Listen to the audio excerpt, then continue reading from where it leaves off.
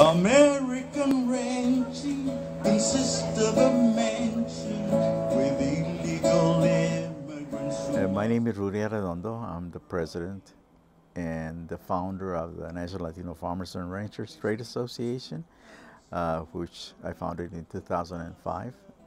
And uh, we're here, headquarters here in Washington, D.C.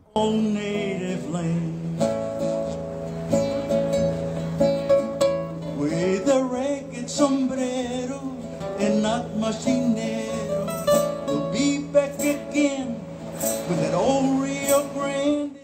Well, I was a migrant farm worker. I started working in the fields with my mother when I was about five years old. And, you know, I got bored from being under the truck, so I started, you know, helping my mom with little tasks. And then it became a full-time job. when I was uh, in Texas, my grandmother was undocumented. The Border Patrol came to the house. They took my grandmother and they left my two siblings toddlers, unattended. Where's my grandmother? You know, she couldn't write and she couldn't read. She didn't know where what to do. To me, that was really traumatic because we lost our, you know, our grandmother. You know, that that's very significant.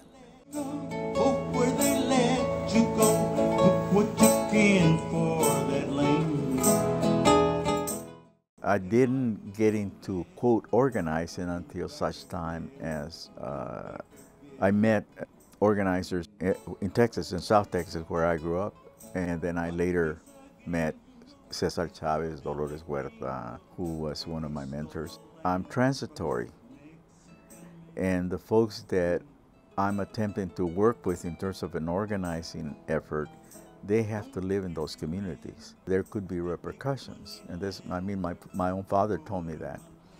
He said, it's important that you realize that what you're doing is a good deal, but you have to make sure that because this is, they, these uh, folks, that's, that's their livelihood. And you could have a negative impact on their ability to feed their families. Is this the good neighbor that takes our labor, then calls us back over? The media pretty much ignores rural communities. Viva mi Mexico, hope where they let you. Uh, you know, I'm the founder of the National Latino Farmers and Ranchers Trade Association.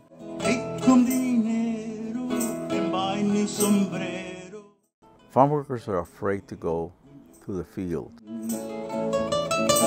Viva mi Mexico, they let you go. Look what you can for that land.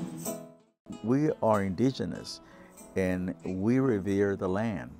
To us, it's sacred. And we need to make sure that we don't uh, exploit it. I mean, it feeds us. We need to do something. Ole, ole.